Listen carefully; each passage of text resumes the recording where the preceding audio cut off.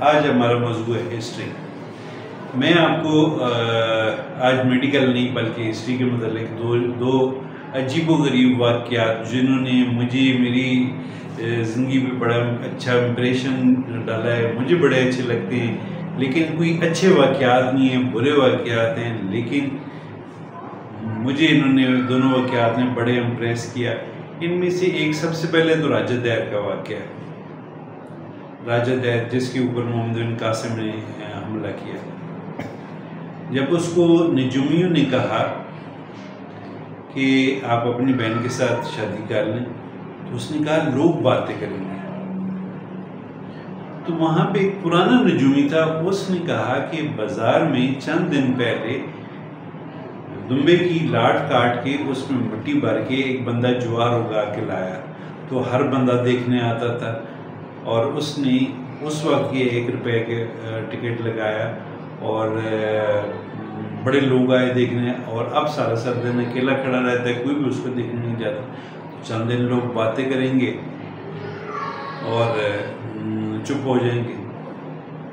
یہ بات سن کے وہ بڑا خوش ہوا اور اس نے اپنی بہن کے ساتھ شادی کر اس بہن سے اس کی دو بیٹیاں ہوئیں، جنہوں نے بڑے ہو کے مطالبہ کیا کہ وہ ایک لڑکے سے شادی کریں ہے تو عجیب و غریب سا واقعہ، لیکن ہے۔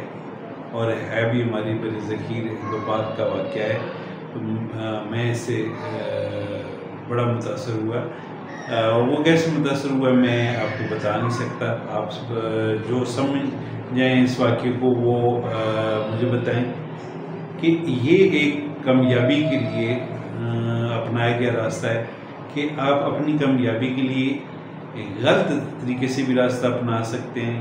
آپ اس طریق سے سبق سیکھ سکتے ہیں، آپ اس طریق کو برا بلا کہہ سکتے ہیں، لیکن یہ ہے کہ کبھی بھی چٹلائی نہیں جا سکتی۔ آج اتنے سو سال بعد بھی میں اس واقعے کو یاد کر رہا ہوں، تو اس لیے کہ یہ تاریخ میں ایک واقعہ ہے۔ دوسرا واقعہ، جس واقعے نے مجھے جھنجھوڑ کے رکھ دیا اور اتنا سچا انسان ایون کہ میں سمجھتا ہوں کہ نہ تو مسلمانوں میں تھا، نہ ہندوؤں میں، نہ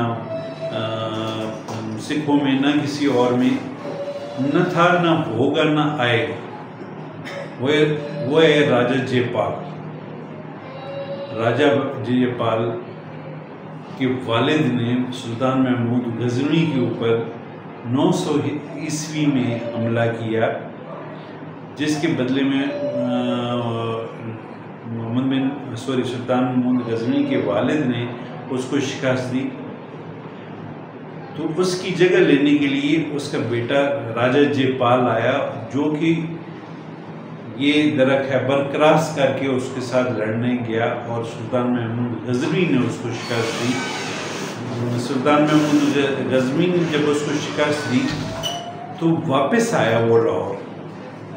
تو جو ارد گرد کے سردار سے ان سے پیسے لے کے گیا تھا، ان سے چندہ لے کے گیا تھا، یا کلیکشن کی ہوئی تھی، اور اس نے آ کے ان کے سامنے اقرار کیا۔ سب کو اس نے اپنے مال کے پچھلے باغ میں بلایا۔ جب وہ شام کو سب لوگ اس کے پاس وہاں اکٹھے ہوئے تو اس نے کہا کہ مائی ڈیئر فرینڈس میں جنگ ہار گیا، میں نے آپ کو پیسے ڈبو دیے۔ لہذا میں زندہ رہنے کے قابل نہیں ہوں۔ یہ کہہ کہ اس سے پہلے کہ لوگ سمجھتے، لوگ اس کو روکتے، اس نے اپنی چتر کو آگے رکھا دی یہ دونوں واقعات ایسے ہیں جنہوں نے مجھے سکھایا، کامیابی، ناکامی، اچھے، برے طریقے، اور یہ بھی سکھایا کہ غیرت سے کون لوگ ہیں جو زندہ رہتے ہیں۔ میں ایسے لوگوں کو جن کی تاریخ غیرت والی ہسٹری سے تاریخ بڑی بڑی بڑی ہے وہاں کو سلام کرتا ہوں۔ میری ویڈیو پسند آئے تو لائک اینڈ شیئر کر دیں، سبسکرائب کر دیں اور پسند نہ آئے تو مجھے بتا دیں۔ کمنٹ کر دیں۔